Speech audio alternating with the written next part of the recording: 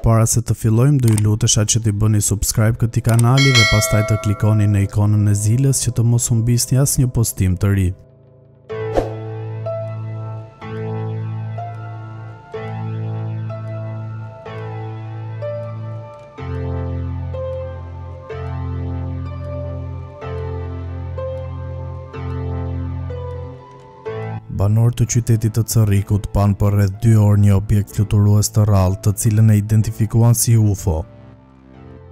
Për dy orë me radhë qyteti u përfshi nga paniku dhe kurioziteti.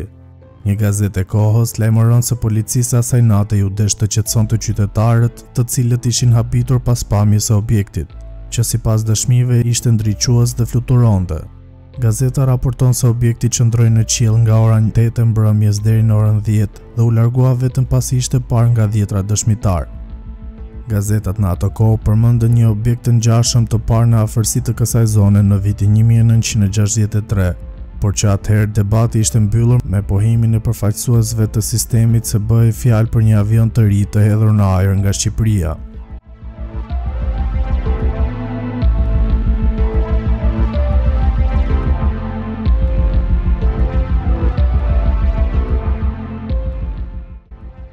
Ka qenë viti 2006 ku banorët betoheshin se UFO-t kishin vizituar qytetin e tyre. Fillimisht u pa si një hipotezë, por pas shenjave që kishte lënë disku fluturues, të gjithë filluan të bëheshin kureshtarë.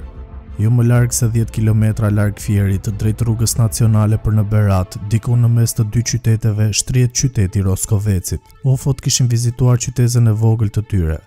Vetëm një çast ka mbërritur disku fluturues dhe sipas banorëve, vendi përreth u zhyt në errësirë dhe ciklon. Qielli u errësua, pemët janë lëkundur. Doli një tym i zi dhe pashë se drejt meje po vinte një gjë e çuditshme me dy sfera dhe konik në majë. Ishte në ngjyrë të bardhë në gri, përmendin dëshmitarët në atë kohë.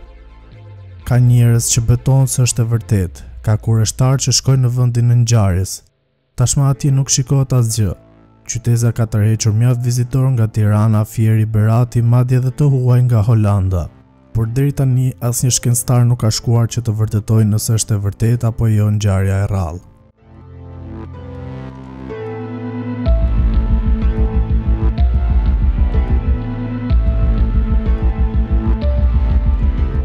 Të gjithë punëtorët e Rrugës së Kombit u habitën kur papritur gjetën një sferë të çuditshme të një madhësie mesatare. Sfera kishte ngjashmëri me të gjitha sferat e gjetura që nga Brazili dhe deri në Bosnje. Ajo peshon tre ton, por ende nuk dihet përbërja e saktë dhe mënyra se si ka arritur në një formë të tillë. Hipotezat janë të shumta, duke filluar se ajo ka përbërje llavosfere e deri në mitologjinë e lashtë. Në të njëjtin vend u gjetën edhe disa mbetje të tjera sferike, por që nuk e kishin ruajtur formën e tyre.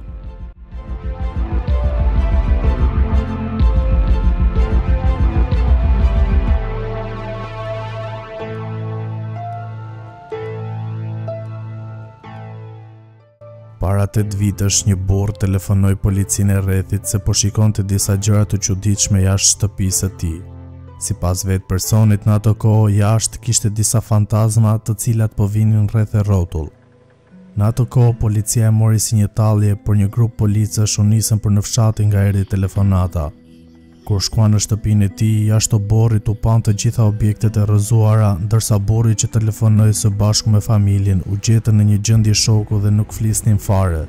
Po kështu ngjarja që ata treguan më mbrapa ishte shumë e çuditshme dhe ata edhe sot tregojnë se ato fantazma ishin të vërteta dhe nuk gënjejnë.